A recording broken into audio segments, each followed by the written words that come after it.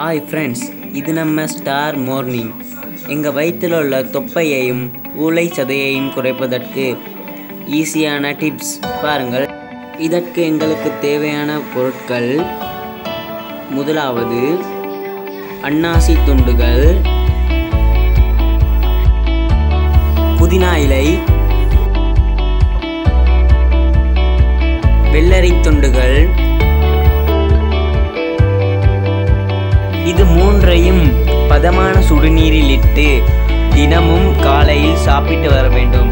அப்பி அப்படி சாப்பிட்டு வந்தால் இதனால் உங்கள் வயிற்றில் உள்ள ஊழசதையும் தொப்பையும் குறைந்துவிடும். Okay bye. இது நம்ம சேனல். மறக்காம சப்ஸ்கிரைப் பண்ணுங்கள். பாய்.